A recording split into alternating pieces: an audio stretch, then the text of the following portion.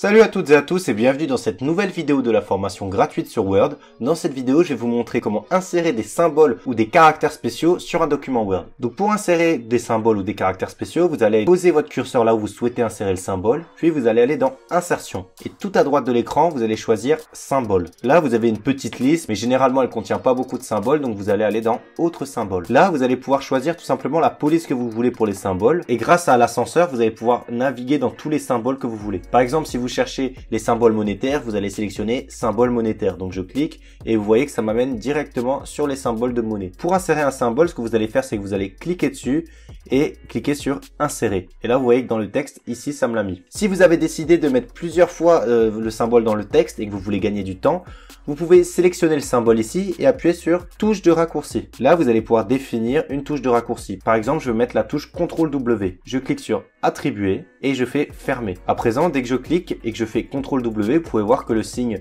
euro apparaît. Pour ce qui est des caractères spéciaux, vous allez cette fois-ci aller dans l'onglet caractères spéciaux et vous allez pouvoir en fait insérer les différents caractères que vous souhaitez. Notez que vous avez la touche de raccourci de ces derniers dans la colonne de droite et qu'en cliquant sur touche de raccourci, vous pouvez également, comme je l'ai montré avant, choisir un raccourci clavier pour une touche spécifique. Donc c'est la fin de cette petite vidéo. N'hésitez pas à vous abonner et aller dans la description afin de ne pas rater la suite des prochaines vidéos de la formation gratuite sur Word et je vous dis à très bientôt dans une prochaine vidéo.